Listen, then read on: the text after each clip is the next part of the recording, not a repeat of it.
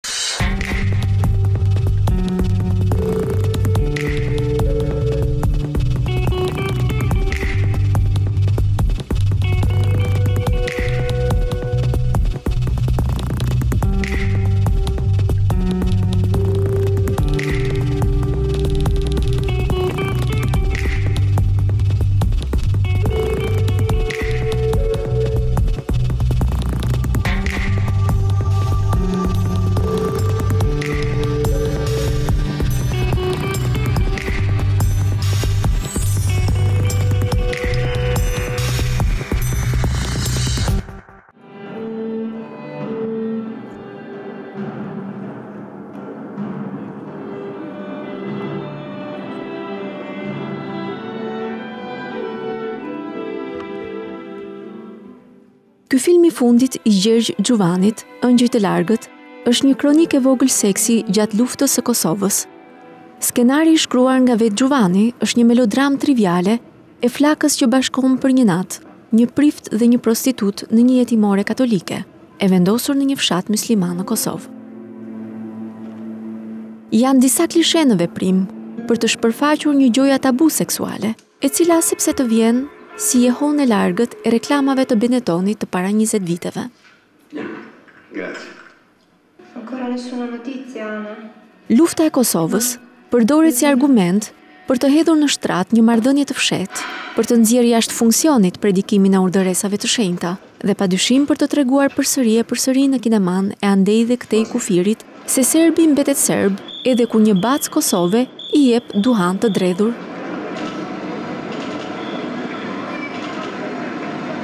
Çdo gjë e parashikuar në veprën e Xhuvanit. E zbrazur edhe nga ai realizëm apo grotesk i rrethanave ekstreme që kanë pasur filmat e tij më të mirë.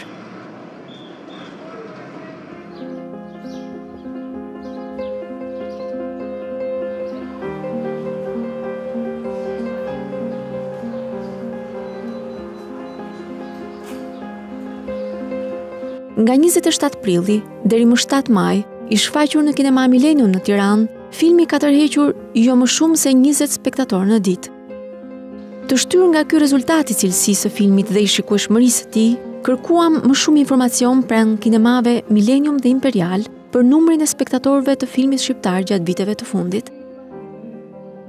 Të dhënat për shfaqjet në Tiranë janë dëshpëruese.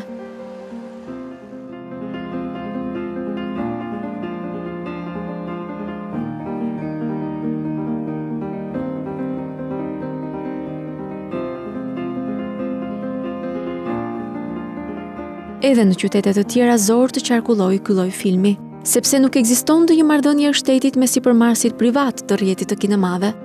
Shtohen sallat e kinemave në qendrat tregtare, shtohen filmat shpëlarës, shtohet indiferenca e njerëzve dhe qytetet rrethohen nga qindra mijë indiferentë. Një pjesë e mirë e këtyre projekteve filmike nuk i kanë kapërcyer kufijtë e Shqipërisë. Asgjë nuk ka ndryshuar edhe në politikën kulturore të televizioneve. Televizioni publik shqiptar financon pa ndonjë kriter filma shqiptarë, por nuk ndjek ndonjë praktikë për njohjen e kësaj kulture, apo mendimin kritik mbi të. Nëse Instituti për Studimet e Krimeve të Komunizmit, me debatin e tij të mbrapsht mbi trashëgiminë filmike të periudhës së komunizmit, ia ka dalë t'i mbajë lart tonet, kjo tregon se kinemaja shqiptare nuk jeton akoma në të tashmen. Mirëmbrëma, siç e ndoqët dhe nga materiali i përgatitur, ky emision i kushtohet kinemasë, kinemasë shqiptare, me problemin që ajo ka prej, të themi, dy dekadash, prej 20 vitesh, që kur është krijuar rrjeti i kinemave private në Shqipëri. Shikueshmëria dhe shpërndarja e filmit shqiptar. Sa arrin të shkojë ai në momentin kur del në në në kinema, në momentin që i jepet i ri, i freskët, publikut, sa arrin publiku ta ketë atë në dorë. Të ftuarit tanë për sot janë Ilir Butka, kryetar i Qendrës Kombëtare të Kinematografisë. Ilir, faleminderit që je këtu. Faleminderit, për Dhe kemi një krah tjetër të zinxhirit të filmbërjes, që është producenti, Dritan Huqi, i On Film Production, morëm shkas për ta trajtuar këtë temë nga dalja në qarkullim e filmit të Gjergj Xhuvanit, Engjëjt janë larg, producenti i të cilit është Dritan Huqi. Mund ta filloj me ju? Ok. Cilat kanë qenë pritshmëritë dhe cili është rezultati? Nuk është çudi, domethënë nuk është një gjë që nuk e presim ne që merremi me këtë punë në raportin e distribuimit të filmit shqiptar me sallat e kinemasë. Mund të themi praktikisht nuk funksionon. Dhe ne jemi përballë një konkurrence normale të një tregu të madh botëror, që është kinematografia botërore, e cila vjen dhe distribuohet në sallat shqiptare, në kinemat shqiptare. Dhe pikërisht në këtë fluks të madh, Është edhe filmi shqiptar i cili duhet t'i bëjë konkurrencë pikërisht kësaj gjëje dhe të futet dhe dhe të jetë kompetitiv në në tregun tonë. Ky problem është dhe në Itali, ky problem është dhe në Francë. Atëherë, ju po flisni për një faktor i cili është faktor i jashtëm, po. distribuimi. Sikur do të ishte më mirë ta fillonim shkallë shkallë nga faktori i brendshëm, që është vetë filmi, që është vetë produkti. që është cilësia e filmit. Një producent, një producent gjithmonë ka rrezikun, mund të ketë pritshmëri të larta për nga një regjisor, nga një film, jo, dhe gjatë rrugës dhe rezultati mund të jetë, mund të jetë dhe zhgënjyes, ose mund të kapërcejë këto pritshmëri dhe të jetë një sukses. I krysh këtë pëtoj. Po si për ta nisim që këtu? Dakord, unë jam shumë i hapur për me mbajt edhe përgjegjësi, jo në këtë rast, për po në përgjithësi në punën tonë. Po nëse Ky film ose një film para tij do ishte me rezultate të dobëta ose me shikueshmëri të ulët, mund të ishte shqetësuese dhe hajde të gjykojmë për një film. Po kjo gjë ka dhjetë vjet që po ndodh në kinematografinë shqiptare. Domethënë ne kemi mbas vitit dy mijë, dy mijë e pesë, dy mijë e gjashtë që pati një rikthim të publikut për të parë kinematografinë shqiptare, mhm. pastaj kemi një rënie graduale që ka fillu vit mas viti, derisa jemi në këtë shqiptare. Atër çfarë ka ndodhur, sipas jush në këtë 10 vjeçar? Janë pakësuar kinemat? Jo. jo. Kinemat janë shtuar. Kinemat janë shtuar. Dhe Tirana është bërë një qytet akoma më i madh. Po të them vetëm një gjë. Vitet e fundit shofim një trend që njerëzit shkojnë drejt spektaklit skenik, pra drejt teatrit, sepse është një formë e cila shijohet vetëm në skenat e teatrove që janë në Tiranë. Nuk ka një alternativë që ta konkurrojë. Ndërsa, kinemat janë shumë komerciale, ato janë thjesht biznes. Në momentin që ai ndjen që një film shqiptar ka tridhjetë e pesë spektatorë dhe një film amerikan ka tridhjetë e tetë, sigurisht është i prirur që të bëjë projeksionin e këtij filmi që ka tridhjetë e tetë. Është biznes. Në këtë pikëpamje ne nuk jemi fare të mbrojtur që të thush një sallë në Tiranë ose një politikë e caktuar për kinematografinë autor. Unë po them dhe në Romë marr një statistikë, filmi Gioventù i Sorrentinos, Youth, po. është në një shikueshmëri të ulët, por nuk mund të thush që ai film i bërë nga një super regjizor, është film i dobët. Tregu i distribucionit të filmit në Shqipëri, është një treg që pikërisht transmiton këtë lloj kinematografie. Kemi kinema të mirë autor, kemi dhe kinema të dobët autor. Kinema jo. autor nuk do thotë a priori po, që është një film uh, për një shikues elitar. Unë të marr një rast që lidhet me një proces përpara se të realizohet filmi. Mhm. Produksioni. Qendra Kombëtare e Kinematografisë që ka vite që funksionon e tjera e tjera, është ne në ligjin tonë, ose në mundësitë që u japim producentëve shqiptarë, kemi një sasi të caktuar përqindje produksioni. Dhe ne hidhemi në një treg europian për me gjet koproducentë të tjerë, për me bë të mundur realizimin e filmit. Se ky është sistemi europian i bërjes së filmit, por të problemet tematike, Kemi një hendek ndërmjet dëshirës së publikut shqiptar dhe filmave që ne ofrojmë. Por nga ana tjetër, ne këto filma që shkojmë rëndomtë, gjithmonë është bërë ky diskutimi, pse kinematografia shqiptare ka o ngjarje me burrneshat, o emigracioni, jo kanuni. Faleminderit. Ilir Butka. Ku duhet ta vendosim fokusin? Tek këta faktorë të brendshëm, domethënë tek probleme që janë të vetë natyrës filmit, tek gjuha që zgjedhin autorët e filmit shqiptar, tek temat që ata zgjedhin, Unë do të thosha... A ofrojnë ata diçka interesante për shikuesit? Pse i ka braktisur shikuesi i kinemave? E shikoj problemin kryesisht tek orientimi. Domethënë në pamundësi për të patur atë orientim që ka patur kinematografia jonë që nga krijimi i saj deri në vitet nëntëdhjetë e ca, kur ishte një orientim partiak, ishte një orientim shtetëror, ku tematikat pak a shumë përcaktoheshin, ne erdhëm në një moment vakumi orientimi, të cilën duhet ta kompensonin krijuesit me me orientimin e tyre personal. Do të thotë që tematika zgjidhej nga ata, mënyra e, të, e këndvështrimit ndaj filmit zgjidhej nga ata dhe e, ajo për të cilën ata nuk ishin aspak të përgatitur ishte përballja me audiencën. Duke patur një background artistik ngushtësisht lidhur me statusin e tyre social, intelektual, Kanë kërkuar të nxjerrin në pah këto vlera. Në dhjetëvjeçarin e fundit, filmi shqiptar Duhet të kuptojmë rolin e qendrës. Ka një ngritje apo ka një rënie sipas jush për sa i përket cilësisë së vetë filmit, jo të audiencës? Kjo për mendimin tim është e padiskutueshme. Që? Kualiteti i filmave tanë, nga pikëpamja artistike, profesionale, është gjithmonë e më shumë në rritje dhe këtë e tregon edhe numri i festivaleve ku marrim pjesë dhe çmimet që fitojmë. Kinematografia si çdo Fushë tjetër e jetës. Më falni se kjo që thoni ju është pak e përgjithshme, sepse po t'i referohemi filmave që kemi këtu, nga po. lista që po. unë kam nxjerrë po. nga kinemat, Millennium dhe Imperial, mhm. përjashtohen këtu Imperiali 2 mhm. dhe Cineplexxit. Një pjesë e mirë e filmave që janë këtu, nuk janë pjesëmarrës në festivale dhe nuk janë fitues të çmimeve. Unë kam listën e festivaleve. Listën e festivaleve. Atëherë, unë ju them, po. të thyër, jetë më në budinës. Është i vetëmi që sapo ka mbaruar, sapo shfaqur, nuk ka vajtur në festivale. Ada? Ada? Amsterdam Express? Nuk ka fituar asnjë çmim dhe ka rezultate të dobëta në audiencë. Amsterdam, po, tani unë përmenda tre. Përmenda tre? Po, unë kam pak, nuk kam, të tre viteve të fundit. Nuk kam qëllim të mbroj ata që janë të, mhm. pamundur për t'u mbrojtur, kupton? Por ja, po, sigurisht, midis tyre, ka filma që kanë fituar çmime, edhe mund të kenë patur njëkohësisht dhe rezultate të dobëta në audiencë. Pra, kemi një konflikt, çmimi, nga njëra anë i një jurie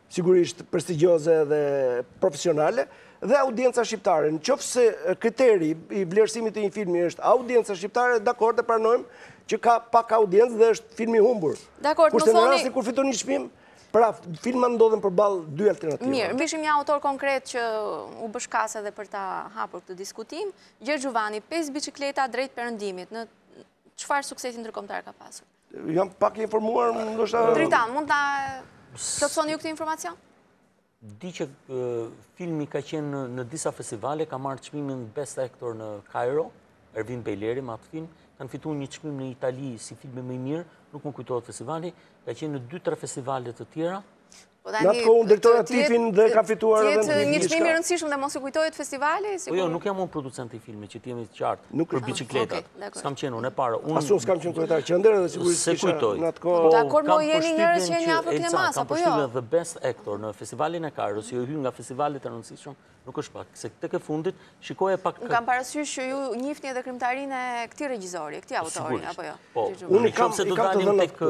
Te krijimtaria e Xhuvanit, Tashi po është pikërisht ai kapërcimi cilësor që iu bë kinematografisë shqiptare mas viteve 90, kinematografia e re dhe po të flasim bëhet fjalë për dy tre emra të cilët me gjithë mend sollën ndryshimin e madh në kinematografinë shqiptare.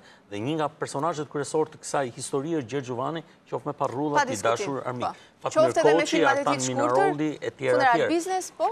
Megjithatë Elsa, unë do të thoja... Megjithatë jemi këtu, që filmi Engjëjt janë larg, Engjëjt janë larg, ka pasur 15 Deri në 20 spektatorë në një seancë. Kinematografia shqiptare ekziston për një qëllim më të madh se kaq. Jo që të ekzistojë unë, jo që të jem unë producent. Ekziston për një qëllim, për vlerën kulturore që ky film i dedikon ose i drejton. Prandaj unë doja ta fillonim nga vlera e këtyre filmave. Vërtet kemi të bëjmë me një po, vlerë kombëtare apo kemi të bëjmë me ca vlera të diskutueshme, të cilat duhet të filtrohen në mënyrë tjetër. Atëherë më lër ta mbaroj mendimin, të lutem. Mhm. Domethënë, Qëllimi kryesor i ekzistencës së kinematografisë shqiptare është pikërisht për të pasur këto vlera kulturore.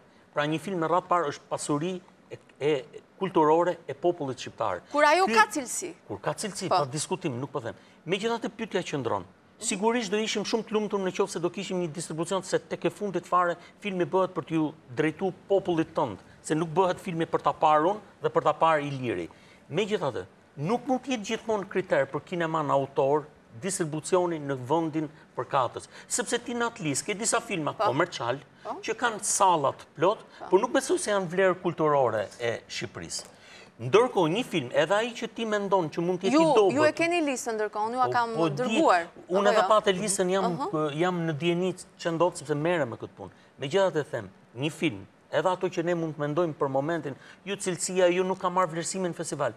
Një film është i mirë sepse nëse ai me gjithë mend do t'i qëndrojë kohës, do të fotografojë atë kohë për të cilën flet atë ngjarje, dhe do jetë një vlerë kulturore shtuar në ansamblin kulturor shqiptar. Tani ju thoni që unë duhet të pres edhe 10 vjet të tjera jo, për të konfirmuar, për të konfirmuar vlerën e filmit Engjëjt janë larg? Jo vetëm Engjëjt janë larg, po për çdo film shqiptar, në momentin kur neve jemi përpara, Domethënë, kriteri i distribucionit të brendshëm duhet të jetë në raport të drejtë me atë vlerësim që vjen edhe ndërkombëtarisht, nëpër festivale, nëpër kritika.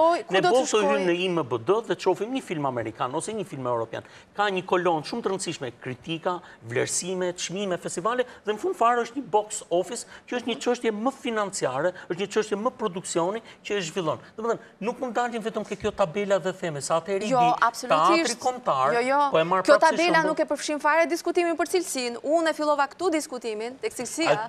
Problemet se vijnë dhe aty. Meqë e filluam po. aty, unë kam qenë në kinema... Për mua kjo është një fill për të dalë te disa gjëra kyçe. Kam qenë në kinema si spektator në kinematë tona për të parë një film të Woody Allen. Nuk besoj se kemi dyshime për kualitetin e këtij regjizori, këtij producenti mhm. dhe këtij, kësaj figure kinematografike botërore. Në këtë sallë, Në të njëjtën sallë ku shfaqen filmat shqiptarë, kishte nëntë veta që shikonin Woody Allen. S'ka asgjë të keqe, e kupton? Nëntë veta që shikonin në sallë Woody Allen dhe besoj gjithë gjithë seancat e tjera kishte po kaq njerëz, e kupton? Unë po them të ndalemi tek problemet tona, të ndalemi tek problemet tona, tek problemet që kanë po, pra, autorët shqiptarë. Sa është në gjendje të gjenerojë audiencë publiku shqiptar, se mund mund të mos shkojë njeri në kinema për kulturë. Përse?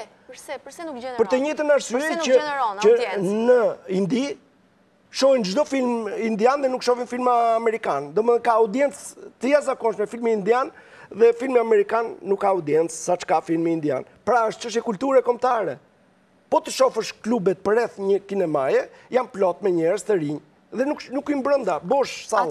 Atëherë, juve duhet t'ju shqetësojnë këto raste, këto shembuj. Po unë mua nuk mund të më shqetësojë fakti pse nuk shkojnë edhe në filmat më të mirë të Hollywoodit ata të rinj. E kupton, shqetësimi duhet të jetë i producentëve dhe distributorëve amerikanë apo çfarë? Atëherë më thoni, zoti producent, filmi i Gjergj Xhuvanit, pas Tiranës, ku do të shkojë? Për çështje distribuimi? Po, po, po, po. Në cilat salla ekzistojnë në Shqipëri që Janë edhe nuk po shkon filmi. Ne po kemi një rrjet të shkatërruar të kinematografisë, të distribuimit të sallave. Nuk ekziston ky koncept. Është vendi me më pak salla në botë ndoshta. Shqipëria u anëtarësua në Eurimages po. me 5 salla që tani duket që kanë qenë po krejt fiktive, fiktive jo, që Shqipëria për t'u pranuar. Kanë qenë reale, por ndërkohë falimentuan dy. Kjo është e thjeshtë më. Sepse nuk ka audiencë, nuk vijnë njerëz në kinema. Dhe që të bëhet kjo, duhet filluar me një edukim shkollor për kinematografinë. Ne, kur kemi qenë në shkollë, kemi bërë muzikë. Si ka mundësi unë të bëj muzikë, unë s'kam asnjë lloj prirje personale për muzikë. Pse mos bëhet një, një lëndë kinematografi? Të them të drejtën kisha... Pse të bëhet vizatim dhe mos bëhet kinematografi? Të them të drejtën kisha... Pse mos bëhet kinematografi? Kisha shumë dyshim për ta lexuar diçka që i referohet pikërisht hapjes së kinemasë shqiptare të parë në Tiranë, m'u duk si shumë historike, po pastaj thashë, pse jo dhe është rasti për ta lexuar. Hapja e kinemasë Nacional, në vitin 1925, mhm. domethënë është kinemaja e parë që ka funksionuar si teatër dhe si kinema. është krijuar nga një inxhinier, nga një deputet dhe nga një industrialist. Pa diskutim, është kontribut intelektual që këta njerëz kanë dhënë. Tani, si vepronin këta privat Dhe si i ndihmonte ata shteti?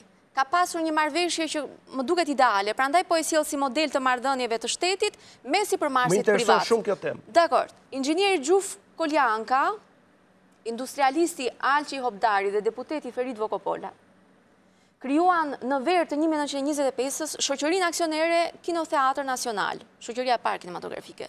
I kërkuan mbështetje qeverisë, duke argumentuar se qëllimi nuk ishte tregtia, meqë e përmendët disa herë këtë gjë, por ngritja e nivelit artistik dhe kulturor të vendit. Kërkesa u refuzua, por këta, sipërmarrës privatë, këmbëngulën. Po. Dhe në verën e 1926, Këshilli i Ministrave miratoi projektligjin mbi subvencionimin e shoqërisë Kinotheatër. Mhm. Pse e mbështet Këshilli i Ministrave? Që t'i jepet një ndihmë kësaj shoqnie tash në fillim e sipër, e cila detyrohet të bajë sakrifica të mëdha financiare dhe tue ditun se derisa të stërvitet populli ynë me të këtilla të shfaquna serioze, ka për të kërkuem një kohë të gjatë në të cilën shoqnia nuk mund të nxjerrë shpenzimet e veta në këto vitet e para. e gjejmë të arsyeshme t'i bahet ndihma në këtë mënyrë që parashifet në projektligjin bashkëngjitur. Sipas zotimeve të bame, e fundit kjo, shoqnia ka për të sjellun filma të veçanë për nxënësit e shkollave, të cilët do të hyjnë gratis krye 15 ditësh dhe kjo gjë ka për të qenë tepër e dobishme për mësimet e ndryshme të shkollës, Tue i bamun këto konkrete, ashtu si janë tue u ba në të gjithë vendet e qytetnueme. Është gjuha zyrtare e kohës kjo. Të falënderoj shumë për shembullin. Mund të duket anakronike, po mua më duket që ky model ka funksionuar 80-90 vjet më përpara më mirë sesa sot. Ezaurojmë një shqetësim të vërtetë dhe duhet filluar pikërisht këtu dhe jo nga rezultati aktual i filmave. Kjo është fillesa e çdo gjëje. Praktikisht, iniciativa të tilla private në Shqipëri nuk kanë nuk kanë munguar edhe vitet e fundit në Durrës u ngrit një iniciativë. Bëhet fjalë për kinemanë 17 Nëntori që u mbyll. Po, që u prish, jo u mbyll. Kinemaja e fundit, po, po. që u shkatërrua. Në Durrës, një iniciativë private ka ndërtuar kinemanë Koloseum, totalisht pa asnjë financim me fonde private. Ishte një aktivitet fantastik i cili nuk pati jetëgjatësi Për arsye, sepse nuk pati suport, as nga bashkia, as nga qeveria. Por u shoqërua edhe me indiferencën totale të qytetarëve. Zero shikues në kinema. Megjithatë nuk është ky qëllimi. Tema është fantastike. Jo më larg se para pak ditësh, nga Prizreni, na vjen Erol Bilibani me kinemanë e tij lëvizëse, mhm. që bën një punë të mrekullueshme pikërisht nëpër shkolla. Shembuj të tillë ka pafund dhe janë shembuj... E solli dhe në Tiranë, furgonin e tij. Duhet të na inspirojnë. Çfarë do të them? Kemi hyrë prej dy vjetësh në Creative Europe programin media. Merr përsipër mbështetje financiare për të gjithë kinematë dhe gjithë ekzibitorët, gjithë ata që aplikojnë distribucion e filmit Shqipëri. Problemi është i thjeshtë. Ata posedues të kinemave në Shqipëri, duhet të aplikojnë në këtë oportunitet të madh. Flitet për shifra të mëdha të vëna në dispozicion, domethënë një shifër prej 250.000 banorësh, duhet të ketë një kinema. Kryetarët e bashkive nuk e dinë këtë. Pretendojmë të hyjmë në Europë pa patur një kinema në qytetin tonë. Ata nuk e dinë dhe nuk do ta dinë dhe për shumë vite të tjera. Po. Prandaj, Ilir, jemi këtu që Po, ju që keni në dorë të sensibilizoni për kinemanë, për hir të dashurisë për kinemanë, po, për hir të buxheteve për kinemanë dhe të fondeve publike, në qoftë se nuk e kërkoni ju këtë gjë, kush do ta kërkojë? Po, po. Në qoftë se nuk e kërkojnë producentët që janë të parët të interesuar. Po, duhet ta them, po nuk e thashë, unë s'ka mund si më ushpërë, po se. Kemi financuar që nga, Tani ka qenë kryetar i bordit të qendrës, kemi financuar nga edicioni i parë, me insistimin tim, katër festivale që zhvilloheshin në rrethe. tre festivale praktikisht që zhvillohen në rrethe, një në Tiranë. Duke filluar nga Pogradeci, Saranda, Shkodra. Keni rezultate, keni të dhëna, keni një... Kush ishte qëllimi? Kush ishte, kush ishte argumentimi që unë i bëra bordit? Se bordi nuk donte t'i financonte. Realisht festivalet, sepse kishte fokus filmin. E di sepse ma keni thënë dhe në intervistën po. paraardhëse. Rezultate keni për këto festivale? Por si, si mund të mbillet kaq kollaj? Domethënë të mbjellësh një farë, jo, do jo, të hedhësh sot dhe të presësh zë mua. Jo, jo, nga edicioni i parë, vërtet, sepse unë kam parë festivale po. shqiptare po. me zero efektivitet. Festivale shqiptare po, ku? Ku? Po tani gjithkund. Ku i bëni ju? Në Gjithkund ku i bëni ju? Në Shkodër. Unë kam parë sallat të mbushura me fëmijë në Shkodër, për shembull. Kam parë sallën e Pogradecit të mbushur, edhe të Sarandës të mbushur. Duhet bërë diçka për ta. Nuk mund t'i abandonojmë, ata pak njerëz janë të interesuar. Që këtu fillon investimi që duhet të bëjmë. Ilir, këtu janë festivalet të cilat bëhen në një sezon të caktuar. Po. Ndërkohë, gjatë gjithë muajve të tjerë, po flasim për qytetet e mdhaja, sidomos, mos të krijojmë tani idenë e një komunikimi ideal të njerëzve me kinemanë. Nuk po them që të kemi çdo ditë të vitit një kinema të hapur në Sarandë. Nuk po e them këtë gjë. Por ama në qytetet e mdhaja, një kinema për filmin shqiptar, e pa ndikuar nga influencat e kinemave komerciale, duhet të jetë patjetër, nuk e ke këtë gjë. Unë synoj pikërisht hapjen e një kinemaje që të rrijë 365 ditë. Po si e synon? Ja si e synoj. Duke i treguar kryetarit të bashkisë, ose kryetarës, kush do qoftë aty, njerëzit vendimmarrës, në pushtetin lokal, duke i dhënë mundësinë e degustimit të asaj çka do të jetë një kinema e hapur. Në qoftë se aty do të ketë njerëz në atë sallë. Një kinema e bashkisë. Një kinema, po sigurisht kinemat janë të pushtetit lokal. Po?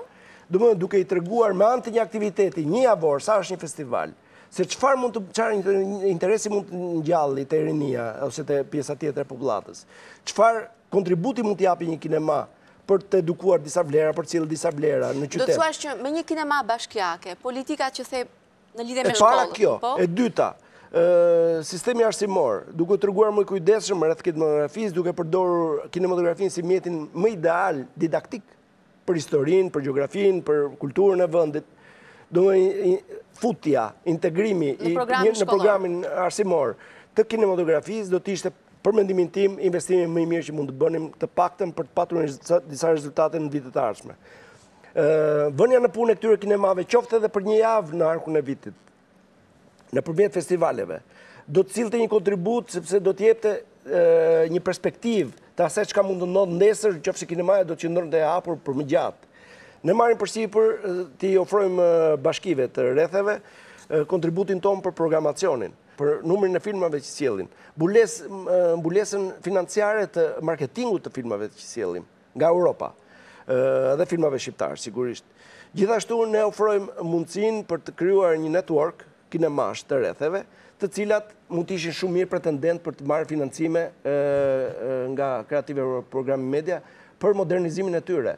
Presim që të marrim financimin prej tyre për të modernizuar këto kinema. A keni informacion se si do të funksionojë kinemaja e re e Laprakës, kinemaja që po rihapet. Kinemaja e Laprakës, me informacionin që kam... A mund të vërë ajo në jetë këtë lloj politike që së në jo? Absolutisht po, është kinema të cilën e ka restauruar bashkia, po. dhe ky është lajm i mirë, sepse Tirana bëhet praktikisht me një kinema publike të vetme, ndërkohë që gjithë kinemat e tjera janë në menaxhim privat, Kjo do na japë neve mundësinë shumë mirë të komunikojmë me në momentin kur të ketë mbaruar restaurimi e të vihet në punë, të komunikojmë me ta dhe të përpiqemi të ndërtojmë një programacion i cili është i lidhur ngushtësisht me filmin Europian dhe me filmin Shqiptar.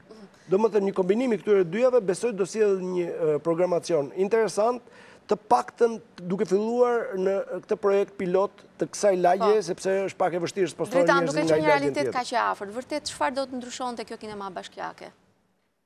Çfarë mundësish do t'i krijonte producentëve dhe si mund ta shfrytëzonin ata? Në qoftë se do të ruajë formën e menaxhimit publik dhe qëllimi i saj në formën e menaxhimit do të jetë afrimi i kinematografisë europiane nëpërmjet projekteve që thotë Iliri, por dhe kinematografisë shqiptare, atëherë do jetë një dritare më shumë që filmat shqiptarë nuk do jenë në presionin e tregut për t'u shfaqur. Unë i mirëkuptoj të gjithë pronarët e kinemave sepse është çështje biznesi. Në momentin kur një gjë nuk funksionon, ai vendos një gjë tjetër që i jep një mundësi më të mirë financiare.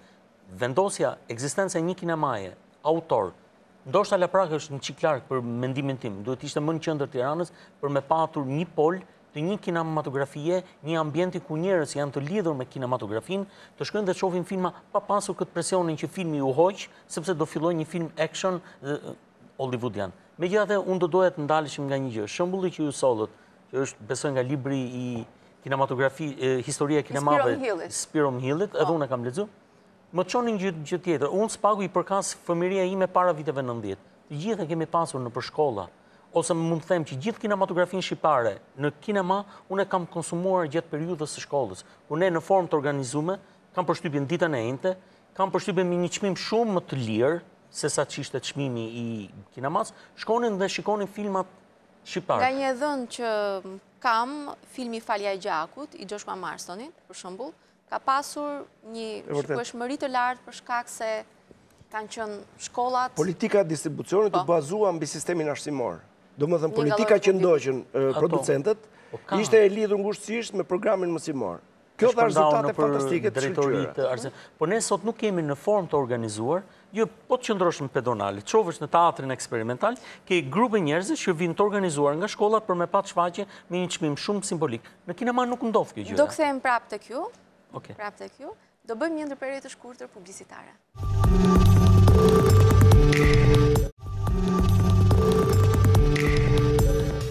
Jemi rikthyer në studio, Dritan Huqi e lamë te kjo, Kishim shembullin e Joshua Marstonit, e filmit të tij Falja e Gjakut, ku ka funksionuar shikueshmëria në bazë edhe të programit me shkollat.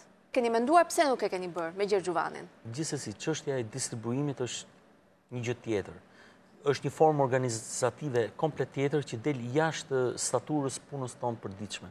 Nuk është aq kollaj që një producent të përshtatet për të bërë distributorin. Mua më rezulton që Distributorët shqiptarë janë po ashtu kompani filmike. Janë, bëjnë, po, kanë të njëjtin funksion. Kemi 24, po, po, kemi 24 producentë shqiptarë që funksionojnë po ashtu si kompani filmike. Kjo është zgjidhje e sforcuar sepse nuk ka distributor realisht. Nuk mund të ekzistojë një ent ose një, një institucion ose... Pa e bën producenti këtë gjë. E, e bën vetë sepse nuk ia merr përsipër dikush. Dhe po të ishte një shitës, Fjala distributor duket fjalë e madhe, është shitësi. Ai që merret me shitje. Jo, nuk ka atribut. Ai që prodhon, ai që prodhon e ka të vështirë të shesë. Unë lidh një kontratë me një kinema që do ta distribuojë filmin dhe e lidh me statusin e prodhuesit të filmit. Të them...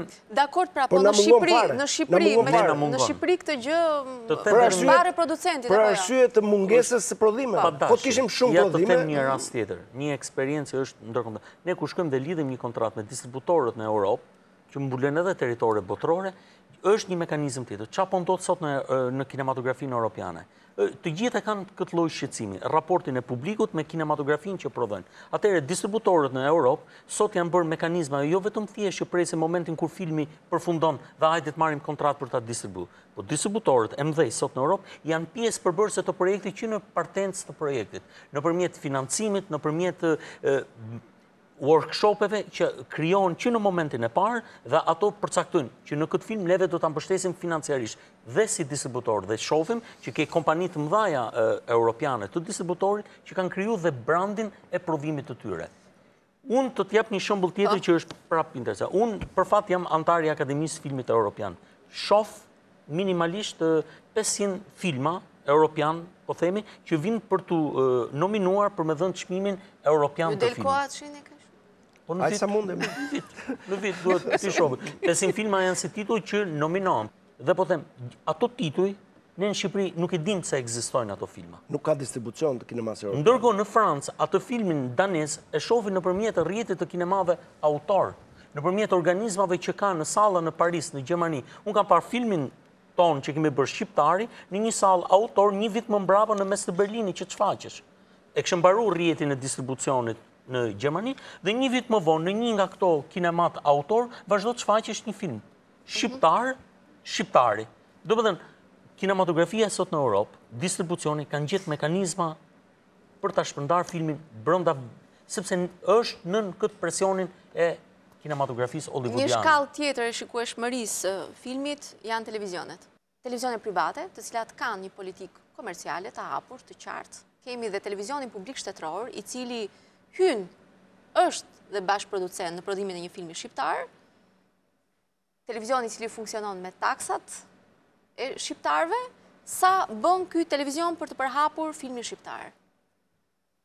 Rasti i filmit të Gjergj Xhuvanit e përfshin gjithashtu dhe këtë formulë, sepse TVSH ka qenë... Gjithë filmat shqiptarë i po, kanë... Po mirë, dakord, të nisem konkretisht ti... është një politikë e viteve të fundit dhe shumë mirë që filmat shqiptarë janë mbështë... tetur nga televizioni. Por problemi është përtej ka që në qoftë se... Çfarë bën TVSH-ja? Kalojmë tek një hallkë tjetër e një forme të shpërndarjes së filmit. Çfarë bën TVSH-ja? TVSH-ja është duke ndërtuar një kanal të dedikuar kinematografisë shqiptare të vjetër dhe të re, mhm. dhe jo vetëm, domethënë do të jetë një kanal kulturor, elitar, njësoj si arte për referencë, e cila besoj unë do të ndërtojë një raport të veçantë me publikun shqiptar dhe do japë një kontribut vërtet të vyer në qoftë se do të funksionojë ashtu siç është treguar në projekt. Po aty do të shoqërohen me trailera, me diskutime, po. me tematika të caktuara, me marrjen në konsideratë të filmit përpara dhe mbrapa në njëfarë mënyre me një kritik. Atëherë kjo është një lajm i mirë për kineastët, apo ata e dinë tashmë?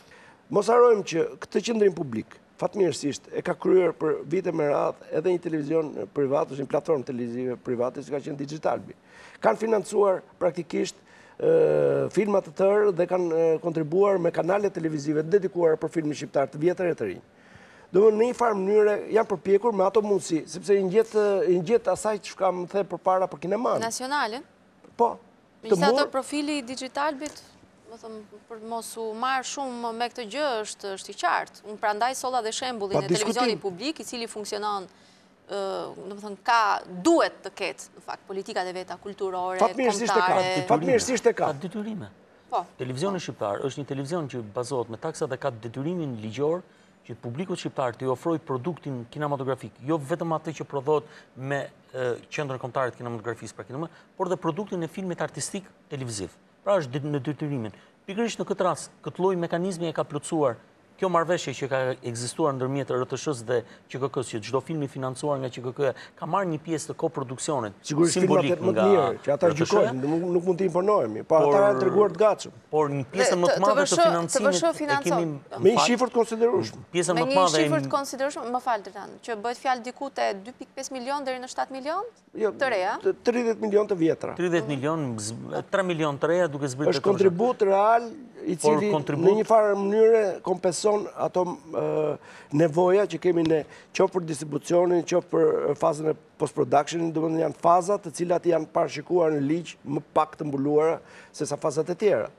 Do të thonë filmat shqiptarë kanë marrë ajër të fuqishëm nga financimi i dixhitalbit. Deri në momentin kur RTSH-ja nuk doli në këtë që ka dalë në platformën dixhitale dhe tani ka një konflikt të drejtash ndërmjet Dixhitalbit RTSH-së, sepse janë të dy gati gati konkurrentë njëra-tjetrës. Për një periudhë të gjatë dixhitalbi menaxhonte dhe rrjetin e kinemave imperial.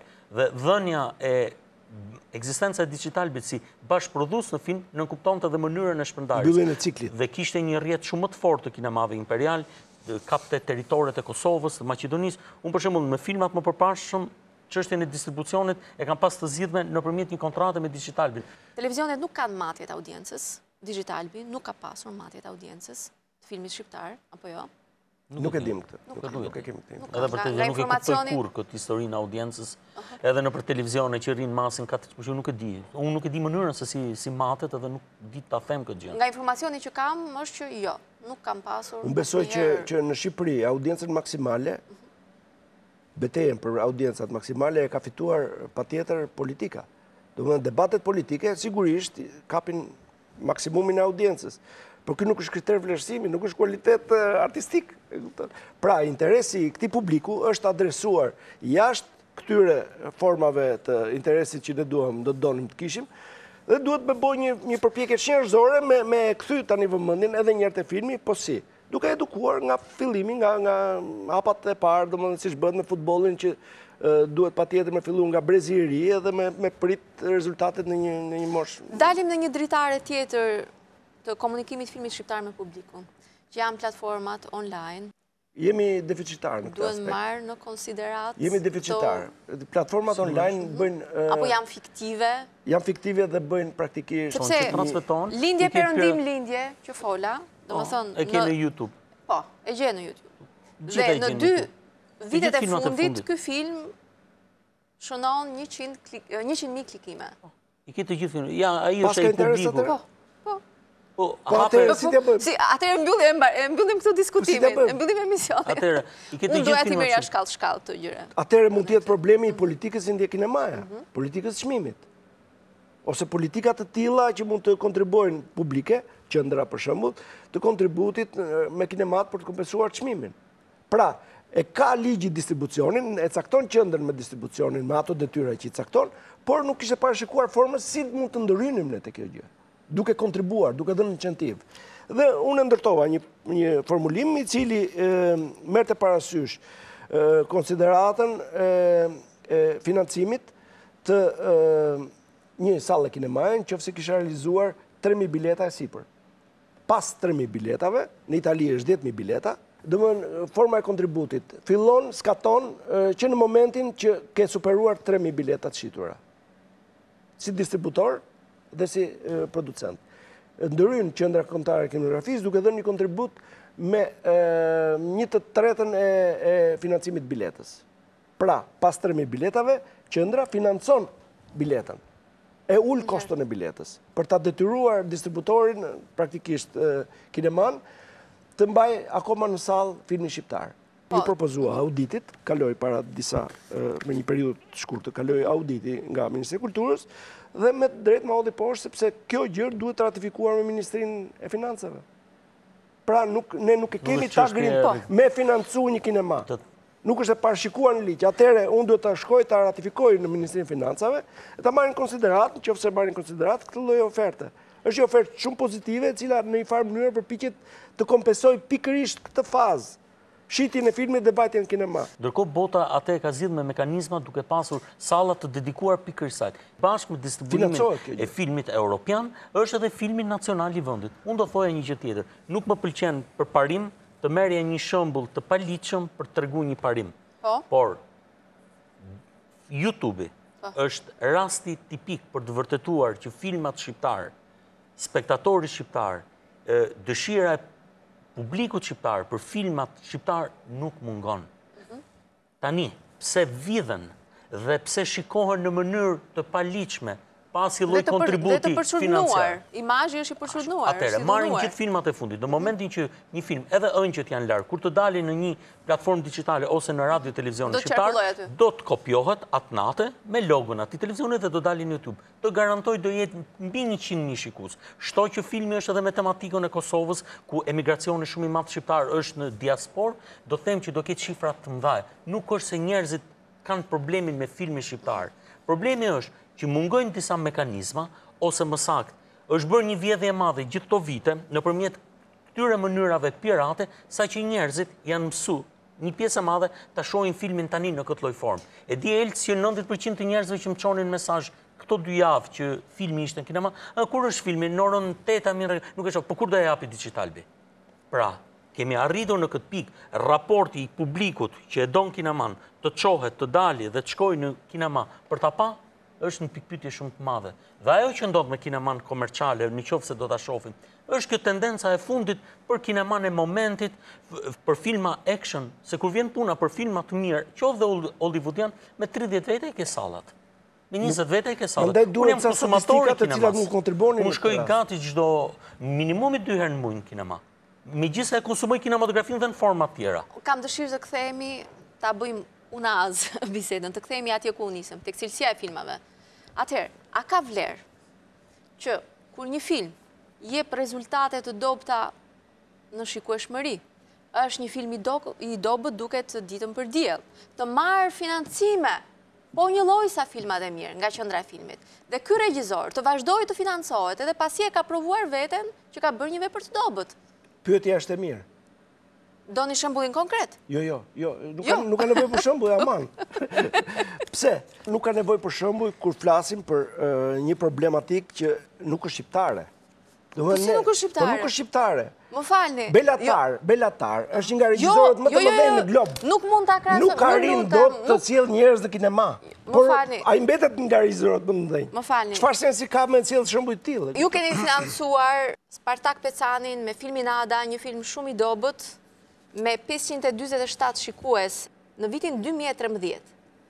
Dhe ky regjizor sërish ka marrë fonde nga qendra e filmit. Mua në këtë rast më shqetson një film i dobët, më shqetson që një film i dobët, një regjizor që ka provuar që bën filma të dobët, ju vazhdoni e financoni. Sepse në fund të 2016-ës, ju keni financuar sërish Gjergj Xhuvanin, sërish Spartak Pecanin, nuk e kam, nuk di ku e kam listën e. e projekteve të financuara. Për fat kam qenë dy vjet në bordin e QKK-së dhe e di fare mirë. Më beso është në skemën e përzgjedhjes së projekteve të reja, sigurisht ky kriter, qoftë audienca, qoftë vlerësimi nëpër festivale, qoftë elementi artistik që pretendon me projektin e radhës një regjizor të sjelli, një shpi filmike të sjelli. Kemi edhe regjizorë karriere me emër të madh që i kemi rrëzu nëpër projekte.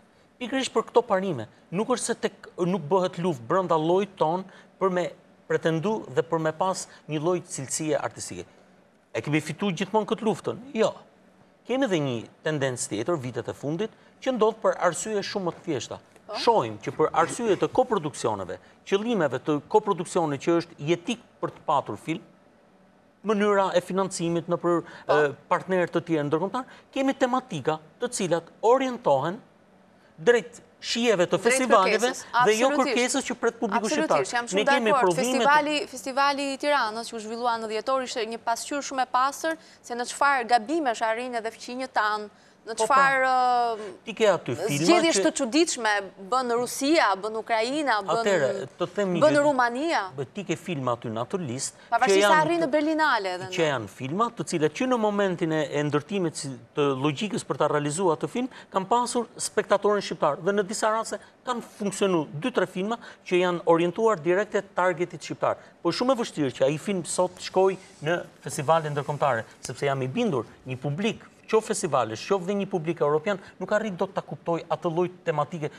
dhe për më tepër nuk përbën ndonjë çudi në qoftë se ti tregon një ngjarje të Tiranës sot për një publik nga Danimarka, sepse pikërisht ajo ngjarje ndodh dhe në Francë, ndodh dhe në Romë, ndodh edhe në Paris. Ndërsa kinemaja shqiptare, gjithë sidomos 20 vitet e fundit, ka pas këtë rezultat ndërkombëtar, të cilin Nganjëherë të vjen dhe keq që e mohojnë, por që rezultatet kanë qenë shumë të larta, e kemi pas qoftë edhe për këto histori tona të veçanta, pak ekzotike, të cilat nganjëherë dhe nuk na pëlqejnë neve si shqiptarë, por në një anë tjetër krijojnë një lloj interesi për publikun europian dhe botëror. Filmin e bën autori, nuk e bën publiku. Kapi një temë shumë interesante tani. Gati dy të tretat e filmit shqiptar janë të financuara nga fonde publike ose private ndërkombëtare. Domethënë, në qoftë se ne japim një, ata japin dy. Dhe këtu kemi parasysh sen, kemi parasysh Eurimazhin, kemi parasysh... Ministrinë e Kulturës Italiane. Ministrinë e Kulturës po, Italiane, që kemi njëzet e tre filma me Italinë, deri tani të bashkëfinancuar, në një formë ose në një tjetër, mhm. komisionet e filmit e tjera. Pra kemi të bëjmë me një situatë të tillë. Do t'u përshtatesh atyre shijeve, po thua? Jo, jo, duhet të kemi parasysh. Në qoftë se ne kemi bërë gabime, në qoftë se kemi bërë gabime për sa i përket respektimit të audiencës, politikave që ndjekim në realizimin e një filmi i cili ka synim festivalin ose audiencën. Në qoftë se kemi dështuar, kanë dështuar dhe ata bashkë me ne. Dhe po flasim për institucione vërtet profesionale. Sa kanë rezistuar autorët shqiptarë ndaj këtyre presioneve të jashtme? Për shembull, është shumë në modë të flitet për religjionin, për bashkëjetesën fetare, është në modë të flitet për, nuk e di, për ndotjen e mjedisit, është në modë të flitet për krimet e komunizmit. Do më dëshmëri e rezistenca? Jo, dua të them... Në qoftë se kemi të bëjmë me një trend, bravo të qoftë që ndjek një trend, i cili në një moment të caktuar ka ca rezultate në arenën ndërkombëtare, por në qoftë se ky trend, ty nuk të çon asgjëkundi... Po ndjek trendin e politikës, e politikës ditës. Po jo, nuk është politikës ditës, është politika e cila ka një audiencë të garantuar, po flasim për audiencat, pra në qoftë se audienca kërkon në një moment të caktuar të historisë, të shohë këtë gjë, ti do t'i përgjigjesh, nuk mund të jesh indiferent. trendi duhet të respektu, duke patur sigurisht edhe orientimin tënd. Se kjo mund të, mund të shkojë në krijimin e stereotipeve, domethënë. Absolut, po, po kinematografia më e shitur në botë, meqë flasim për shifrat, është kinematografia e stereotipeve, amerikanja. Po, dhe, po e bëjmë këtë diskutim pikërisht për të larguar këtyre stereotipeve. Ne pikërisht po kërkojmë rezultatet e saj, ne themi për pse, pse nuk vijnë në kinema. Orientimi i publikut. Së disa herë për ndryshime në ligjin për kinematografinë. Po. nuk e di në çfarë faze është kjo dhe a do të ketë propozime që kanë të bëjnë me temat për cilat po flasim. Atëherë. Me distribuimin, me rrjetin e kinemave, me televizionet, marrëdhënie me televizionet. Formate të reja të, të ndërtimit të marrëdhënieve midis distribucionit dhe e, S'ekzistojnë institucione që sepse, ligji ka parashikuar të Sepse e, është Është e vështirë që qendra të mbajë raporte me pronarët e kinemave dhe nuk duhet ta bëjë këtë. Qendra duhet të mbajë raporte me shoqatën e kinemave. Ju m'u pra ankuat, m'u ankuat në fillim që listën që unë kisha marrë nga kinemat ju nuk keni mundur ta merrni asnjëherë. Sigurisht. Është e pamundur. Qendra e filmit nuk ka raporte për shikueshmërinë e filmave shqiptarë. Qendra e filmit e ka të pamundur të luajë rolin e policit dhe të imponojë subjekteve private. E jo më të vini sanksione? Dhënien e një informacioni. Mua më duhet informacioni jo për t'i penalizuar ata. Mua më duhet informacioni për t'i dhënë këtë informacion Europa Cinemas. është institucioni i cili mund të financojë kinema shqiptare. Ata duke menduar që unë dua t'i penalizoj për të ardhurat e tyre, përpiqen që të mos më japin mua informacion, më kupton. Dhe unë e marr këtë informacion nëpërmjet teje. Që unë ta kryej funksionin tim si qendër, pa marrë pozicionet e policit dhe të konfliktohem me çdokënd që ka një sallë kinemaje, atëherë është e udhës që këta të krijojnë një institucion i cili menaxhon raportin e tyre me qendrën. Ka financime në Europë të cilat po përpiqemi t'i thithim e t'ia u japim atyre. Pikërisht duke ndier edhe fajin që kemi patur në thonjëza, institucionet publike, për mosmbështetjen e kësaj kategorie e cila ekonomikisht Ka qenë e cënuar që nga momenti i hapjes së televizioneve. Kemi bërë një ndryshim shumë të rëndësishëm në ligj. Domethënë është, është mundësuar Minority Co-Production. Domethënë ishte i vetmi vend në Ballkan edhe në Europë që nuk e kishte të mundësuar financimin e projekteve në bashkëprodhim minoritar. ku ne mund të ndërhynim për ato lloj projektesh të cilat realizohen në Shqipëri, kanë tema shqiptare, flasin gjuhë shqip, kanë aktorë dhe staf shqiptarë, por me autorë të huaj. Prezenca e autorëve të huaj, siç ka ndodhur dhe më përpara, me një formë tani të ligjshme, pra financimin nëpërmjet sistemit të koproduksionit, përpos skemës së koproduksionit që na ndihmon të gjithëve, sjell edhe një trajtim të temës shqiptare, të historisë shqiptare, një lloj mënyre të re, për të punuar me aktorët shqiptarë. Pra, shkëmbehet një lloj eksperience tjetër. Ky ishte ndryshimi i parë. Ndryshimi i dytë i rëndësishëm që duam të bëjmë është gjetja e formës ligjore nëpërmjet bashkëpunimit me Ministrinë e Financave për të nxitur investimet e huaja në kinematografi. do të thotë që vendet e rajonit kanë gjetur forma favorizuese për investime të tilla, që variojnë nga 20 deri 25%. Rasti i filmit me Kobra.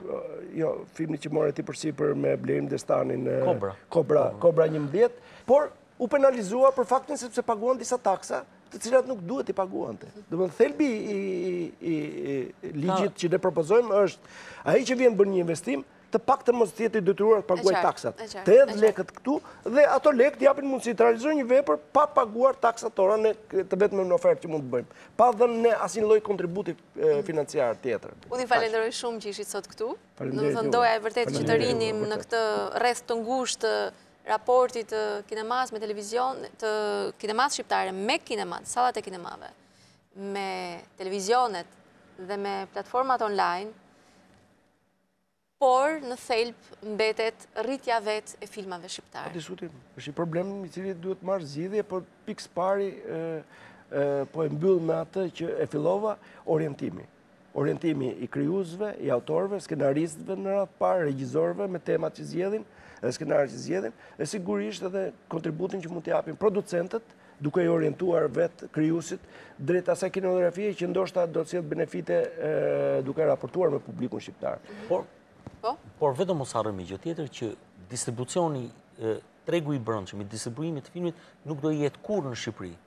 i rëndësishëm për financimin e një filmi, pra që ta orientojë producentin të bëjë një temë për t'ju drejtu publikut shqiptar, sepse nëpërmjet asaj do inkasojë. Tregu është shumë i vogël. Ne kemi një gjë shumë negative, sot e kanë kalu 15 vjet, nuk kemi një unifikim të tregut të Shqipërisë dhe të Kosovës për çështjen e distribuimit të filmit. Nuk funksionon për librin, si nuk funksionon për librin, që nuk mund të thuash nga libri mund të nxirren të ardhura, pavarësisht se letërsia shqiptare nuk është në një pozicion negativ, për sa i përket prurjeve artistike, por vetë numri i banorëve dhe audienca, editoria përgjithësisht në Shqipëri nuk mund të funksionojë, sepse flasim për një treg shumë të minimizuar. Unë ju falenderoj shumë, edhe një herë, dhe shpresoj të ritakohemi. Faleminderit. Faleminderit.